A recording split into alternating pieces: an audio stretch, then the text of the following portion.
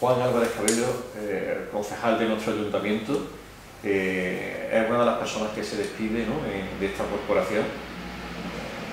Le agradecemos que esté aquí en el Sol de en esta entrevista y, recordamos esas elecciones del 2011, él era uno de los veteranos ¿no? de aquella de cuando empezó Manuel Barón ¿no? presentarse, ¿no? cuando estaba con Andrés Calvo, ¿no? con Ángel González, ¿no? con José Ramón Carmona, eran los concejales que empezaste en, la, en las elecciones primeras de, del siglo XXI, ¿no? diciendo a ver si quitamos el PSOE y gobierno, ¿no? de ah, algún día gobernaremos, ¿no? y llegó ese 2011, ¿no? tan, importante, ¿no? iba el número 11, ¿no? y, todos miramos a Juan y, ah, que el 11 complicado está la cosa, ¿no? Y, recordamos que Manuel lo dijo, no, Juan más el 11 porque si Antequera quiere que Juan sea concejal, tiene que darnos la mayoría absoluta para que lo ganemos, ¿no? ¿Qué, qué día? Eh, día? Eh, dijo eso Manolo, ¿no? Eh, no, no, sí. Eh, dijo eso, ¿no? Fue, fue, un día... ¿no? Y, y, y, cuando ibas del 11, ¿creías que podías sacar esos 11 concejales que iba a ganar? Yo, o, fue sorpresa como la, la, la, verdad, la verdad, Curro, primero agradecerte que me haya, me haya llamado, varias, he tenido varias ocasiones de hablar como hoy, pero bueno, hoy es un día especial porque es un día que, de despedida, una despedida que, que como bien el alcalde dijo, todo empieza y todo acaba, ¿no? Esto son ciclos y además que es que esto debemos de entenderlo como la normalidad absoluta en política, ¿no? Esto no debe ser eterno, ¿no? Y, debe de, ser un ciclo de la vida de cualquier persona. Dicho esto, pues haciéndome recordatorio de ese 2011, mira, se me pone hasta la, la sonrisilla, ¿no? Yo ya iba en 2003-2007 en lista, en 2003 si no recuerdo mal con Ana Corredera, el número 1, el número 17, ni rascaba bola ni se pretendía, era simplemente ayudar al partido a configurar la lista. En 2007 creo que iba de 13, 14 y en 2011 bueno, me llamaron, oye mira que vaya número 11, yo muy bien, pensando, hombre, que sí que podíamos ganar, que podíamos tener un candidato nuevo, un candidato con un tirón, como es Manuel Barón, el mismo Manuel Barón, y, y que sabíamos que, que, podíamos tener un resultado magnífico, ¿no? Magnífico era, lo teníamos, si no recuerdo mal, de siete concejales, magnífico era quitarle la mayoría absoluta al PSOE, que ya venía, no tenía mayoría absoluta, venía de pactar, exacto, venía de pactar con Izquierda Unida, que rompieron a los años el pacto, quiero recordar, y bueno, íbamos con la ilusión de que podíamos ganar la elección, y ahora gobernar, hay que tener en cuenta que, claro, que PSOE, Izquierda Unida, partido de izquierda, ¿no? lo normal es que por naturaleza... Pero, Juan Álvarez no se hizo el cuerpo que iba a ser concejal, Yo, sinceramente, no tenía hecho el cuerpo, de que además yo estaba de interventor en Villanueva de Cauche y claro, las tecnologías en 2011 no son las de ahora. Yo venía con mi, con mi acta de, recuento de, de, la mesa, poco feliz, en Cauche estuve varias veces de interventor. Hay que tener en cuenta que Cauche, la pedriza hasta aquí, hay un caminito, mientras hace recuento, que no es de las más complicadas, pero son poco cesados. Pero bueno, mientras coges, terminas, firmas, vienes, pues la verdad que venía escuchando la radio, y, pero bueno, no, no, no, no intuía esa, ¿no? Eh, por supuesto, venía de otro mundo, que era Cauche, llego a Antequera y me acerco a la sede, que era la entrada a la calle Merecilla, por la Alameda, de un ambiente casi de cuasi fiesta. ¿no? Y yo, bueno, ¿qué pasa? Y, me gritan, que tenemos el 10, que tenemos el 10. claro, yo me descompuse un poco la mezcla de alegría y responsabilidad. ¿no? Y, siempre lo he dicho, lo diré, es decir, yo mi primer pensamiento cuando dijeron, ha salido el 11, el 11 Juan, estaba buscándome, digo, pero si el problema es que digo yo mañana lunes, cuando yo vaya a mi trabajo a, a ¿no? y diga, oye, es que eso tengo que conocer y además de gobierno, lo cual conlleva que, que vas a gobernar y, y, sin pactar, o sea que ya estaba claro. En el caso Juan es de lo que se espera en la política, ¿no? Personas que no dependan de la política para vivir, es decir, tú das tu trabajo y, y no estás la política para buscar un trabajo, ¿no? Sino Hombre, yo, yo lo tengo claro, yo lo tengo claro. Hay que respetar todo, hay que respetar todas las situaciones en la vida, pero yo en ese aspecto lo tengo claro. Es decir, yo creo que la política debe ser un, una ayuda y una, una, herramienta para ayudar a mejorar, en este caso tu ciudad, en otros casos pues la provincia, en otros casos la, la comunidad autónoma, pero al final una herramienta para ayudar durante un tiempo a, a los ciudadanos. Si tuviéramos que poner un recuerdo de ese 2011, de ese 11 concejales de Manuel Barón, alcalde de la medio fiesta que le hace entre Merecilla y, y, y Alameda, ¿no? Era como la incredulidad, el, el alcanzar el sueño. Aquello lo he dicho, un sueño, ¿no?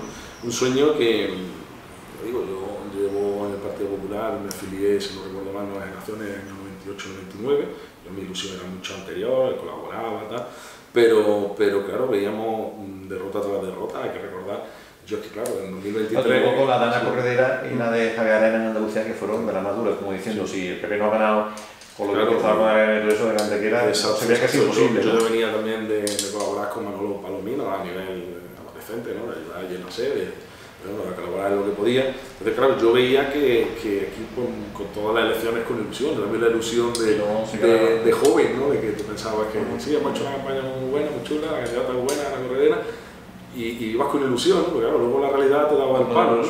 Y claro, te iba a que empezó, pues conseguía 13 concejales, tú te quedabas en 5, en 6 y, y, la verdad que tras un trabajo duro pues, pues era, era, era, llamativo y frustrante. Por cierto, Juan Álvarez entra en el PP por quién? ¿Quién es ese padrino, madrina? ¿Quién es el que le abre las puertas? Eh, supongo que en la calle Purgatorio, ¿no? Cuando empezaría pues, Sí, efectivamente. Además, yo mis padres nunca han tenido relación con la política, ellos tienen su idea, o tenían, mi padre falleció en 2015, eh, me conoció de concejal, yo, fue un orgullo para él enorme, no me conoció como diputado provincial, pero bueno, no, no lo vio pero bueno, desde arriba seguro que, seguro que sí. Pero bueno, decirte que ellos su idea política siempre la han tenido, clara, pero nunca han participado políticamente. De hecho, a mi padre no le gustaba mucho la política.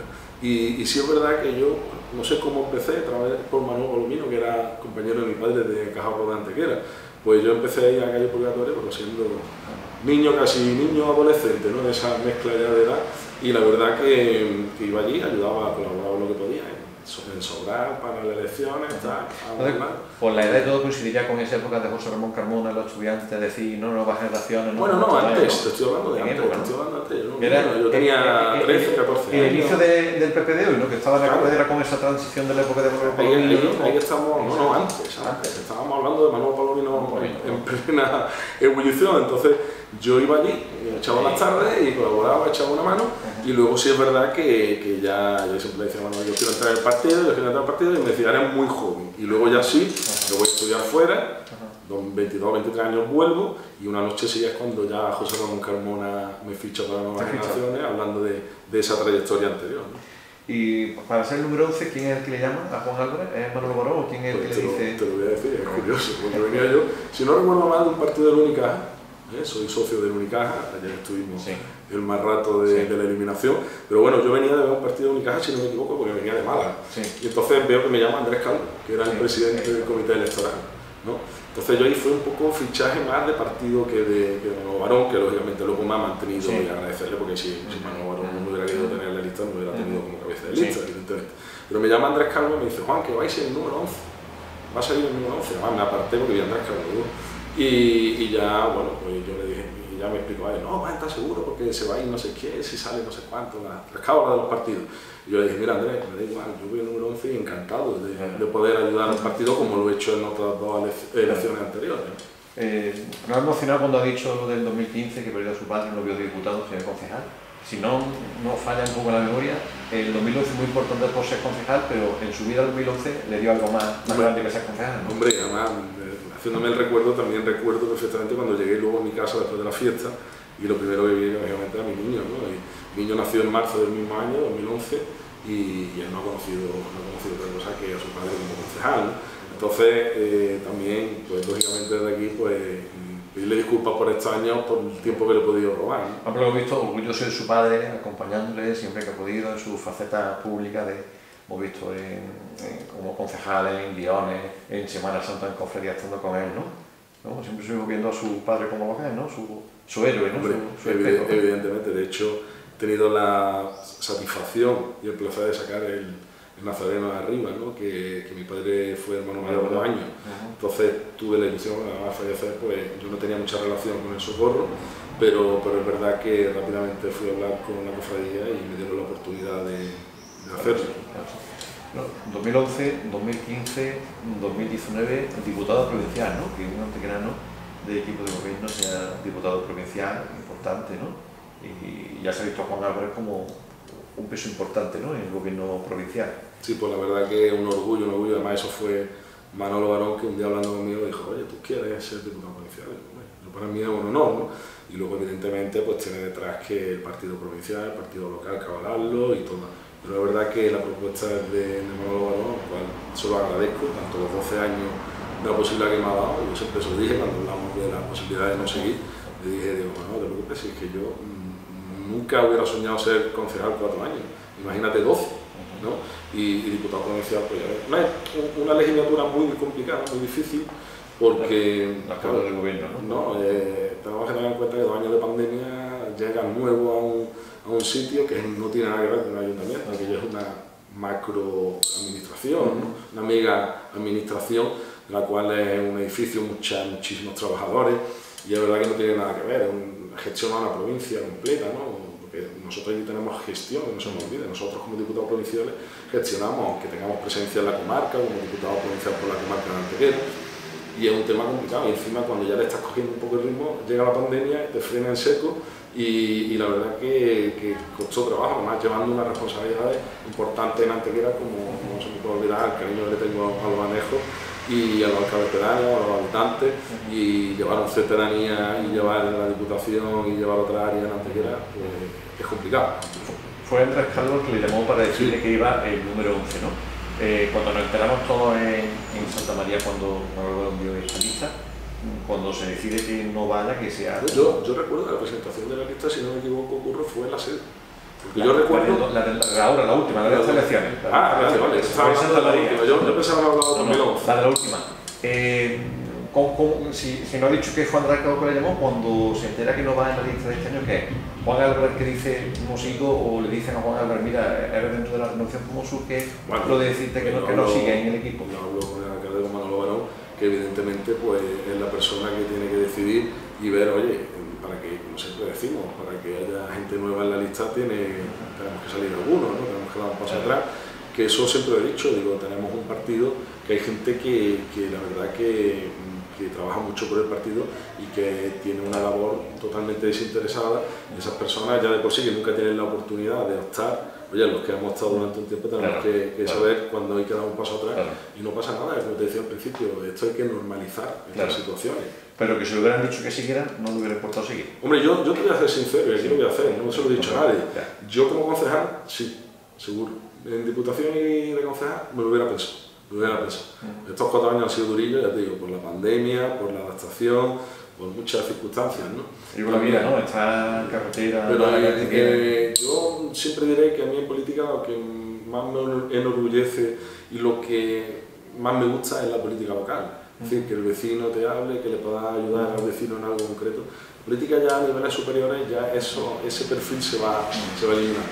nos queda de, de, la política que conocemos cuando íbamos creciendo, eh, gestiones que ha hecho un concejal o un alcalde. ¿no? Así, mientras estamos haciendo la entrevista, pensando en estos 12 años de Juan Álvarez, yo hombre, si uno de estos años preguntara a Juan Álvarez, el concejal que, si yo mira que lo primero, el concejal que mm, cambió toda la iluminación de la ciudad. Hubo un alcalde que se conoció por poner la bombilla en su día. Pues voy a contar, pero, no, no, voy a contar. a mí mucha gente me ha dicho lucecitas, ¿no?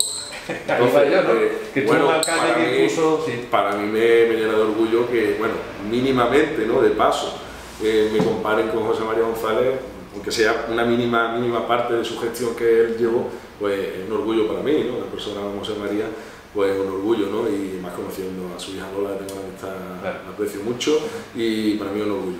Pero sí, bueno, la verdad que fue un trabajo, fuimos prácticamente pues pioneros, ¿no? Pioneros porque era la moda, querían, todas las empresas venían a venderte, aquello eran, yo decía vendedores de alfombras, ¿no? Pero uno venía te contaba una historia, yo la suerte que en mi profesión, soy ingeniero técnico industrial de electricidad. Claro, entonces eh, me venía y con, el técnico municipal, con Agustín Puche, pues tras la visita hablábamos y decíamos, oye, mira, esto no tiene sentido, esto sí. Y al final hicimos un trabajo muy intenso, hacía en gran parte Agustín, Agustín Puche, de aquí quiero reconocer su trabajo. Y, y, bueno, y Manolo, el alcalde, habló conmigo y me dijo, Juan, yo quiero que se hagáis pero que lo hagamos bien. Digo, no, es que yo no tengo fallar, es que esto es mi profesión, si yo hago una chapuza aquí, pues yo tenía referencias de chapuza en otros municipios, por la velocidad, por el, por el hacer caso a gente que venía, yo te cambio la bombilla y punto, ¿no? Como la gente, la bombilla, te la cambio y punto.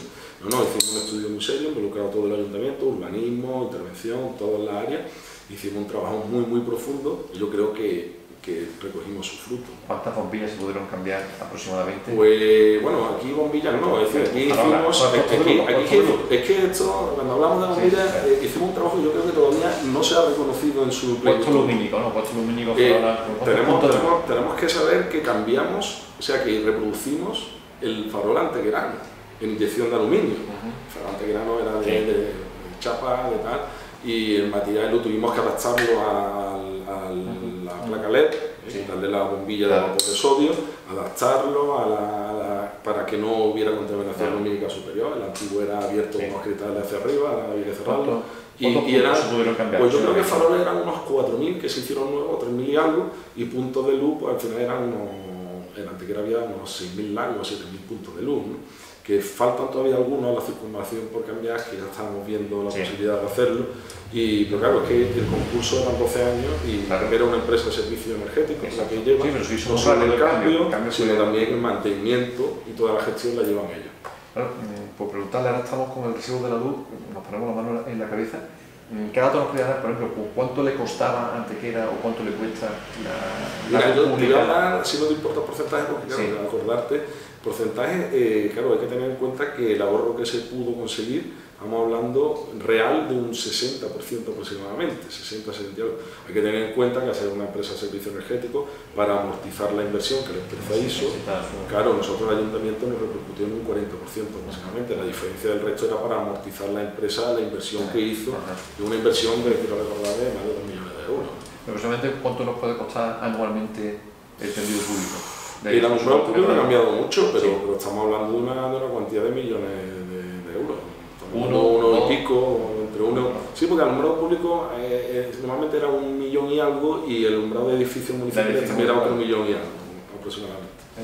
Y, y, claro, con la subida, pues claro, no ha podido lucir tanto, pero no hay que olvidar no solo eso, sino también en la telegestión punto a punto, que podemos controlar punto a punto. Sí, que no que, de luz. Que, un móvil Por eso lo digo que, que, no se ha reconocido realmente y estamos ahorrando de emisiones de CO2 a la atmósfera más de mil toneladas anuales también, ¿eh? que eso, muy, tanto que se mira el medio ambiente, pues, pues es importante. Sí, no me viene la cabeza también el, trabajo que hicieron en lo de las cámaras de vigilancia, ¿no? En, eh, de gestión de tráfico. En, el polígono, en la ciudad, eso también fue a través de sus delegaciones, ¿no? De su, porque era una cosa impensable, la año que se el polígono pidiendo esas cámaras y ahí están. ¿no? Y además, eh, vuelvo a lo mismo, decía, hay tecnologías miles, hay tecnología, hay empresas que te vienen y te dicen, mira, te monto una cámara y al segundo ya tiene imagen. Sí, pero eso es por, tarjeta SIM, que no siempre hay cobertura, que la señal no es la misma. Nosotros lo hemos hecho con fibra óptica, con lo cual es un esfuerzo todavía mayor, pero la calidad es absoluta. ¿Su mejor momento de estos 12 años, el momento que, o de los mejores momentos que haya vivido en estos 12 años de concejal? Mucho. Los primeros que se vienen a la cabeza. Yo, yo momento muchísimo y bueno y malo, evidentemente. noches ah, a ver, los más, los, mejores. yo, yo sobre todo, y siempre lo digo y lo diré, mm, yo no voy a quedar con momento. Hay muchos, como lo he dicho en el pleno anteriormente patrimonio mundial, es mucho, ¿no? este premio Ciudad Sostenible, algo tuyo, no propio, la constitución de la entidad local autónoma de estación, yo era concejal de Anejo, recuerdo muchas reuniones para llegar a constituirse la, entidad local autónoma, todas estas cosas que pasan a la historia y yo una muy pequeña parte de la historia, pero te voy a decir una cosa, y lo siempre lo diré, yo me, de aquí lo que me llevo es el cariño de Antegrado, muchísimo, muchísimo cariño de trabajadores y sobre todo también el trabajo por Antequera, eso no lo olvida nadie. ¿Lo peor? Aparte de la pandemia. No, eh, lo, peor, lo peor es problemas que te surgen, problemas que te hacen que por la noche no duermas y problemas que tú crees que son insalvables y como todo en la vida al final, pues casi todo, casi todo en la vida tiene solución, por desgracia hay cosas que, que normalmente son las enfermedades. Como persona, ¿qué le ha aportado ser concejal durante estos 12 años y diputado provincial a Juan Álvarez? Pues mira, como persona, ya te digo, el tener el yo me he dado cuenta que tengo un talante, el alcalde habla de cintura planetaria, yo, yo creo que soy una persona muy paciente, una persona que, que me he dado cuenta que, que sé escuchar, ¿no? que, me, que la, la gente de las personas, del ciudadano, las tomo. Yo verdad que hay veces que no podía solucionar un tema, porque no estaba ahí y muchas veces entraba gente en mi, ciudadano en mi despacho y me decía, si, es que vengo simplemente a que me escuchen. Eso, eso lo tenemos que tener mucho en cuenta los políticos.